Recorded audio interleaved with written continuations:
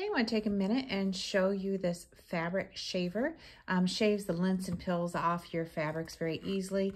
Has a double shaver head here, so you're going to move through the chore of delinting and depilling some of your fabrics very fast.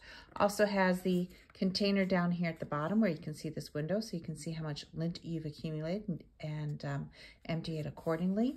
At the bottom, we have the um, release button for that uh, opening there so it doesn't pop off, you need to press this. Also comes with a Type-C charger, so this is going to charge very quickly in addition to being much more lightweight and ergonomical in the hand.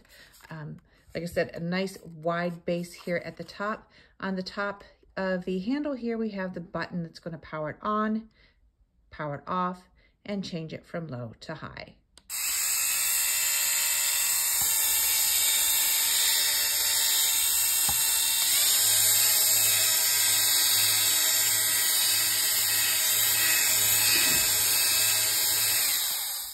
As you can see, this is a, a very low fabric and was even able to pick up that um, pilling. Um, you can see where I didn't run it and you can see where I have ran it and you saw that it didn't pick it up um, or damage the fabric at all during that process.